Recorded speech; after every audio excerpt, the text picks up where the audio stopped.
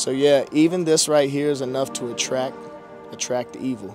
That's new age stuff. That's the Hamsa, the evil evil eye. Yeah. Watch. Let me now. Let me let me touch your stomach. We'll turn it on more. Touch it. What the? ask you right now I ask you right now to touch me. to touch me. All right, wait.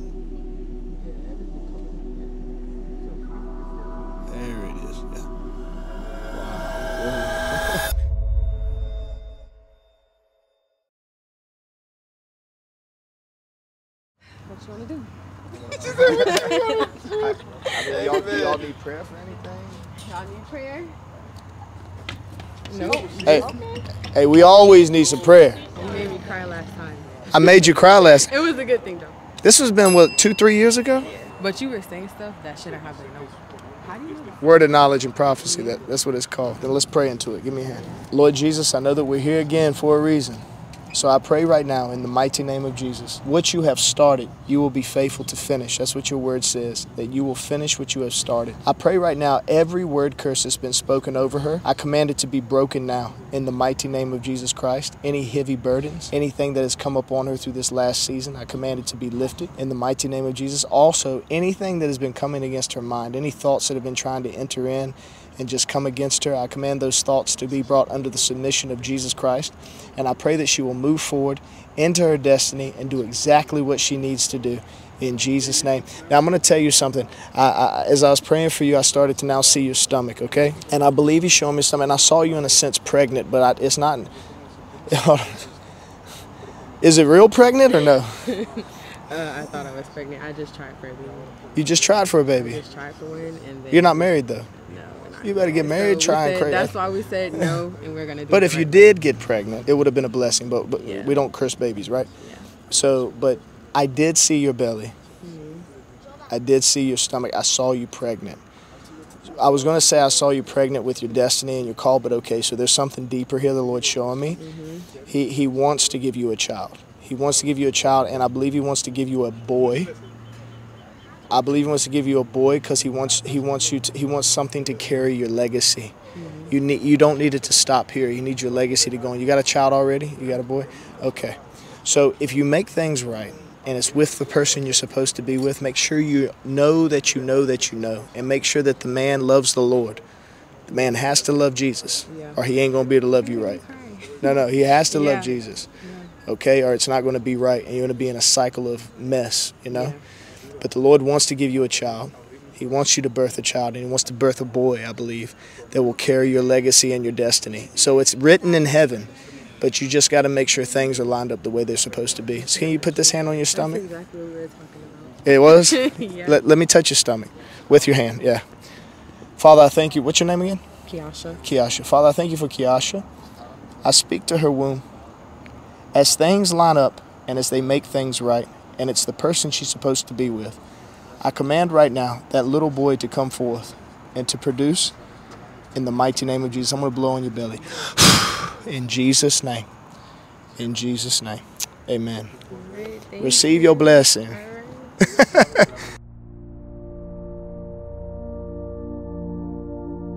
How you doing, guys? Is it okay if I ask you a quick question? Is that like like a minute, like three minutes, like three minutes? You'll come back around. okay, okay. Shabbat. So I, I, I attempted to ask the question, "Who is Jesus to you?" But if I couldn't ask them, I'll ask you. Who is Jesus to you? Mention in the comments. Let me know. We really want to hear it. What What does the name Jesus mean to you?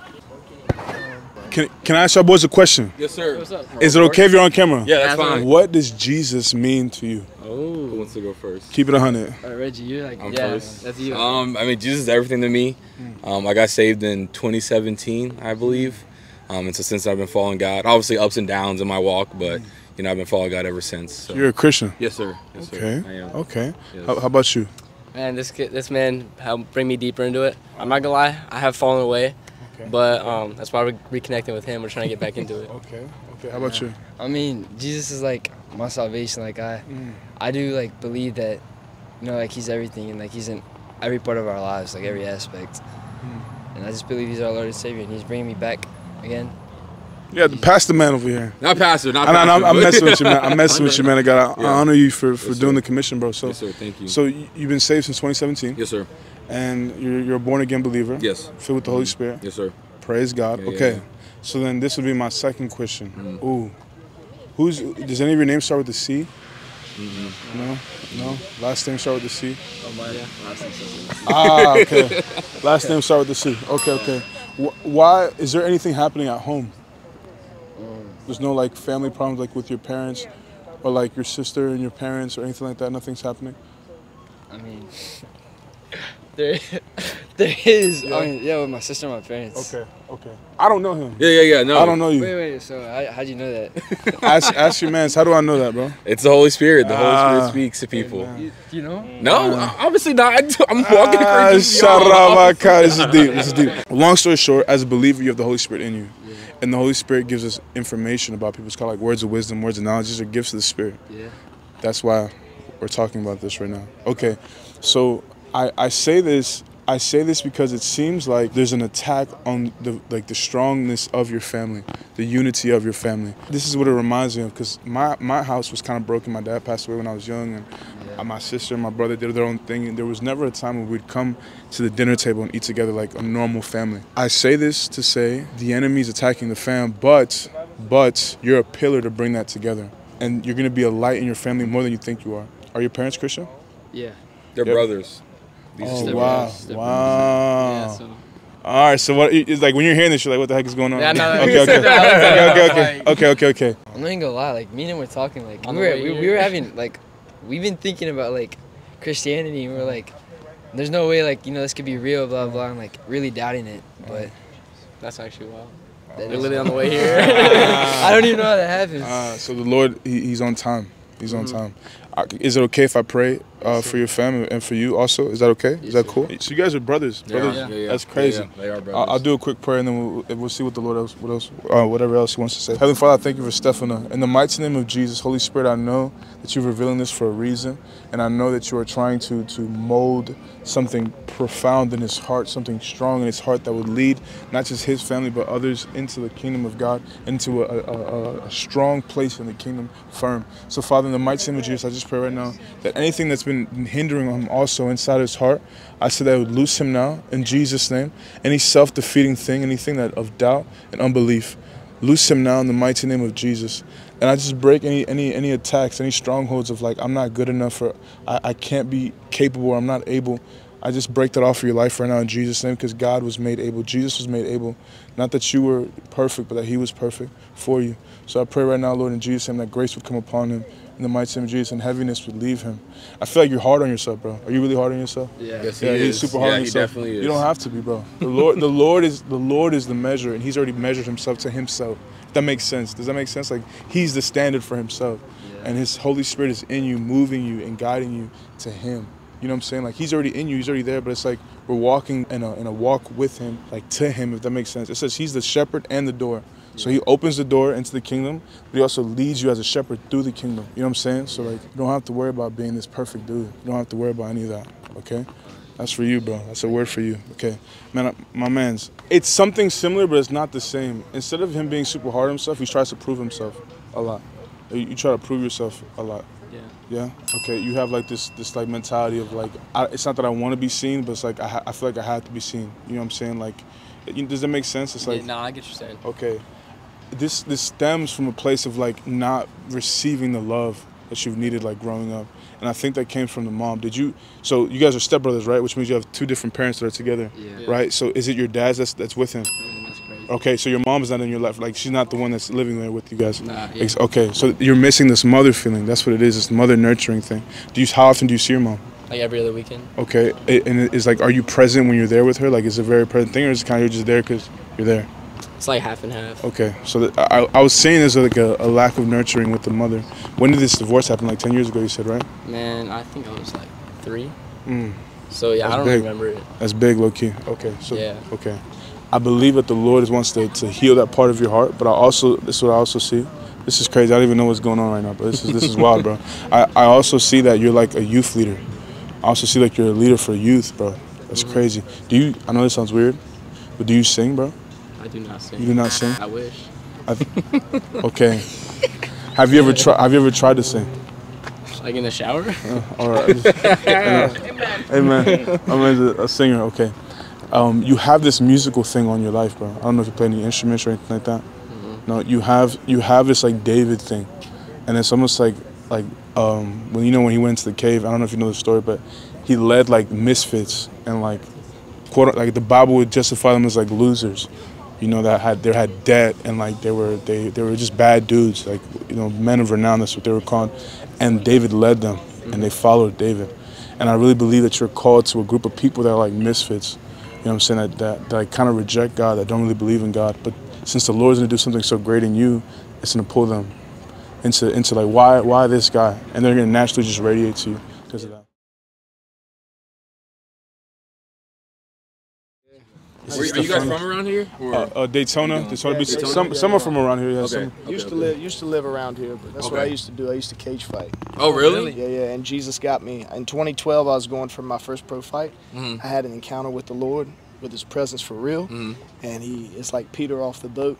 And I was like, look, if I'm gonna follow you, I'm giving everything Dropping up. everything, I'm all extreme, all in, and here I am today because of that. Wow. Because of that all in. So I've learned like when we truly give our dreams up, Mm-hmm. Like really give them, surrender Yeah. them. He will, uh, he will exalt us in due season. Yeah, you that's true. And now I'm really, I'm really living the Christian dream. You know, Wow. traveling the world, seeing nations saved, you know, Yeah. for the glory of God. Dang, he used to be a fighter. That's actually crazy. I have like a lot of um. he questions a lot. Like Yeah, this that's- kid will like Okay, Question question, everything. question, and I'll do my best to answer. Give me a question. I just struggle like um finding God is like the thing. Like I overthink a lot of stuff, and I don't know. I feel like it's difficult to just think that someone's actually up there. Hmm. well, he's not up there. Well, I, I mean like the big man. I understand, but watch this. Let me let me show you where he really is. Romans tells us the same spirit that raised Jesus from the dead lives inside of you. Yeah. So it says the kingdom of God is within you. It says out of your belly will flow rivers of living waters. So God has become into union with human through Jesus' sacrifice on the cross. The Holy Spirit and our spirit are one. So God is in you. He's not out here. He's in there. Now, there will be a coming and returning from the clouds, but by His Spirit we are unified with Him, and He actually, people see Christ through you. Does that make sense? Yeah, makes sense. So me and Christ are, are in, in unison right now because of the Holy Spirit. It says I'm seated in heavenly places with him. So I'm actually right now because I'm born again, you're born again. You're seated with Christ in heaven right now. If that makes sense. I, I, I understand that. So your your thought reason you're having a hard time is because you believe God is out here. And you're having a hard time grasping that he's right here. You know what I'm saying? Yeah, I understand. You got to start seeing God from here. And then he'll feel closer than ever before. Your spirit man's right here. This is where your spirit man is. Your mind is here, your mind, will, and emotions, your soul, your spirit, and your body. We, we submit to our spirit. We want to be in unison. We want our soul and our body be in unison with our spirit because our spirit is what's born again. You know? I like that take. I never heard that. I mean, Father, Son, Holy Spirit, Trinity, right? One God, three distinct cat attributes. The way we see God is we see Christ, right? The way we experience God is through His Holy Spirit. He, he brings the presence, but they're all their own person doing all the same thing. And the Father, you will not, you don't see Him, but if you've seen Jesus, you've seen the Father. Does that make sense? Because Jesus is the express image of God in the flesh. Makes sense? Yeah, it does. It makes You know, if you're really open, it depends on how open you are and how open you are and vulnerable you are to believing in Christ, that He is the supernatural aspect. That's why I got a ministry called the Supernatural Life. I can put my hand to your stomach, and if your spirit is really open, you really believe in the Holy Spirit, you'll feel the stir, and He'll let you know that He's there. What would I feel? You could feel the stirring, you could feel the butterflies, you could feel a presence. Mm. Like a this peace. a You can- There's so many different things. peace that surpasses Yeah. you'll be like man i was so worried and everything's mm. gone now you got this peace so that's just me connecting you know you want me to show you Yeah, I get. I are you open to it Yeah, I'm open. all right open to it. it's real simple man just say this say jesus Jesus, help me help me in my unbelief in my unbelief. reveal yourself Reveal yourself to me to me. by your presence. by your presence. Now watch. Simple. Watch. Father, you love this man. I pray right now, Holy Spirit. Just hold tight. You don't have to breathe. You ready? Yeah. Holy Spirit, I pray right now. Break down every mind barrier, every fear. Touch him. More. Uh huh. Uh huh. There we go. More. you feel that, bro. I, I mean, I'm not putting my hand on you. You rocking and rolling, man. See, something's happening, but what's happening is that thing's trying to click on right here. You see what I'm saying? yeah. Watch. Let me now. Let me let me touch your stomach. Lord, turn it on more. Touch him. What the? you see? I told you you're in your head too much, man. I don't even know how that happened. I told you. He, I told you he's right there, bro. He lives in you. He's in you. I don't, I don't know what, I don't know what that was, but It's God, man. It's Jesus. It's His presence. It's power. His power. yeah. It's His presence. It's His power. God wants to reveal Himself to you by His presence. He wants to break your barriers down, man. He's showing you, like, hey, hey, dude, I'm like right here. Yeah, I see, it. He's like, I'm right here. So God is with you, man. You're not as hard headed as you give think you are, man. I'm not what? You're not hard headed. Put your hand on your own stomach. Mm. Say Jesus. Jesus, Watch. Say touch me. touch me. Yeah, we'll fucking see about that. I gotta go this way. Okay. See you later. Don't forget this card. Yo, yo, that's your own hand, bro. I don't understand it.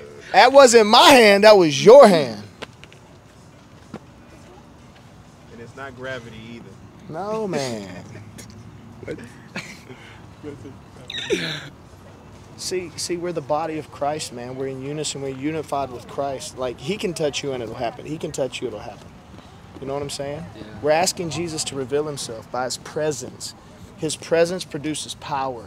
So what you're experiencing is His presence and His power touching you. That's why you see some preachers that hold their hand and say, "Touch is the power." You know what I'm saying? Thank you. Uh, like enlightenment. Yeah, yeah. You're not going to be unbelieving so much now, right? No. No, God is in you, man. He's with you. Don't doubt God, man. It's uh, He's in love with you. You know. You've accepted Him as Lord, right? Yeah, I mean, yeah. And I've always had some um some doubt, but you know, at the end, I always think that he's like real. and He's like our Lord and Savior. Yes. He's go- and you. You've repented of your sins. You've asked Him to be your Lord and Savior. Yeah. There's no doubt. Well, If you die now, you know you're with Him. maybe not. That's That not good, man. Well, He's with you. Mm. So let's let's secure that He's with you. Come here, man. Say this prayer with me, bro. Say, Jesus, Jesus, I want to secure I want to secure my relationship with you. my relationship with you. I repent of all sins. I repent of all sins. I acknowledge I acknowledge that I am a sinner that I am a sinner in need of a Savior. in need of a Savior. And today, And today, I become a winner. I become a winner. I'm not a sinner. I'm not a sinner. So, Lord Jesus Christ, So, Lord Jesus Christ, I call on your name. I call on your name. I accept what you did on the cross. I accept what you did on the cross. And I ask you I ask you to save me to save me so that I will know so that I will know when I leave this earth, when I leave this earth, I will be with you I will be with you for all eternity. for all eternity. Thank you, Jesus, Thank you, Jesus, for saving me. for saving me. Amen. Amen. Amen. It's that simple, bro. Thank you. The security in Christ, baby. Come on, man. Yeah. All who call on the name of the Lord will be saved. If you believe what you just prayed, you are saved. You don't need to doubt. Let, let God lead you by His Spirit. It says, Sons of God are led by the Spirit, and the Spirit will lead them into all truth. So the Spirit of God will lead you. Don't try to do it in your own strength, or you'll fall. But if you just wake up and say, Jesus, how you doing? Love you, man. Let's go. And it's not an easy journey, but it's a worthwhile journey. Amen. People will hate you for loving Jesus. People will reject you. They'll persecute you. Maybe even try to kill you. Hopefully not. Yeah. Some people want to take me out. But you know what I'm saying? Yeah. It just comes with the territory when you're loving people. I feel like it was also like hard to put like God 100% because I focus a lot on soccer, and like uh, I do want to go pro in it. Yeah. But I feel like I idolize that more than God. So just bring Jesus into it because Jesus wants you to enjoy soccer, but he wants you to love him more than soccer. So if you can say if you can make sure Jesus is the centerpiece of this of what's happening, you can play soccer. A lot of people go in extremes and they'll put everything down, but all Jesus wanted was like bring me into this and you and use this to talk to the people that are playing soccer around you.